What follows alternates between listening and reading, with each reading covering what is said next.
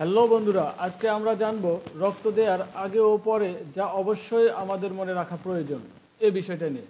একজন রোগীর সুস্থতার জন্য মানসম্পন্ন রক্ত সঞ্চালন করা অত্যন্ত গুরুত্বপূর্ণ। রক্ত কৃত্রিমভাবে প্রস্তুত করা যায় না। তাই রক্তের প্রয়োজন হলে স্বেচ্ছাসেবক দাতার কাছ থেকেই তা সংগ্রহ করতে হয়। অনেক মানুষই ব্যথা ও রোগ সংক্রমণের ভয়ে রক্ত দিতে ভয় পান। রক্তদানের সময় কিছু বিরূপ প্রতিক্রিয়া দেখা দিতে পারে, যেমন মাথা ঘোরা অজ্ঞান হয়ে যাওয়া ও বিবর্ণ হয়ে যাওয়া। রক্ত দেওয়ার পূর্বে রক্ত দেওয়ার সময় ও রক্তদানের পরে কিছু সাবধানতা অবলম্বন করলে এই ঝুঁকিগুলো খুব সহজেই এড়িয়ে চলা সম্ভব। আপনার রক্তদানের অভিজ্ঞতাকে নিরাপদ, সফল ও আনন্দময় করার জন্য যা করা প্রয়োজন তা জেনে নেওয়া যাক। চলুন। রক্তদানের পূর্বে করণীয়। আপনাকে আয়রন সমৃদ্ধ খাবার খেতে হবে, যেমন লাল মাংস, মাছ, মুরগি, সিম ও শাক, বিশেষ করে পালং শাক। রক্ত দেওয়ার আগের রাতে পরিপূর্ণ ঘুম প্রয়োজন। রক্তদানের পূর্বে অতিরিক্ত ষোলো আউন্স পানি বা তরল খাবার গ্রহণ করতে হবে। রক্তদানের পূর্বে স্বাস্থ্যকর খাবার খেতে হবে।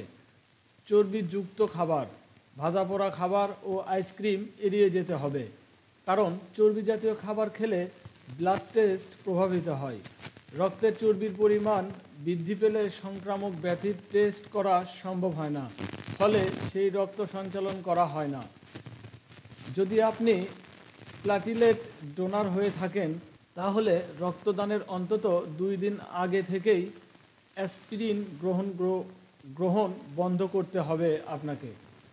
রক্তদানের বারো ঘণ্টা পূর্বে লবণাক্ত খাবার যেমন সল্টিস বিস্কুট বা চিপস খান, কারণ রক্তদান করলে দেহ থেকে তিন গ্রাম লবণ বের হয়ে যায়।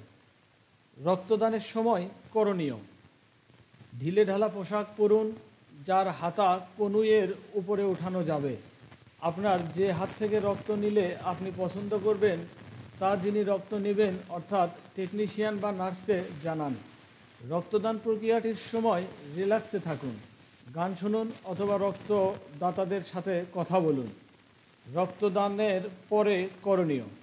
রক্তদানের পরে অতিরিক্ত চার গ্লাস বা আট আউন্স পানি পান করুন এবং পরবর্তী চব্বিশ ঘণ্টা অ্যালকোহল গ্রহণ করা ঠিক নয়।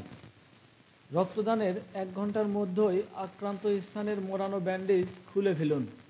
এর পরিবর্তে ছোট স্ট্রাইপ ব্যান্ডেজ ব্যবহার করুন। স্কিন র্যাশ এড়িয়ে যাওয়ার জন্য স্ট্রাইপ ব্যান্ডেজের চারপাশ সাবান ও পানি দিয়ে পরিষ্কার রাখুন। রক্ত দেওয়ার পরে ভারী কিছু উঠানো বা ভারী ব্যায়াম না করাই উচিত।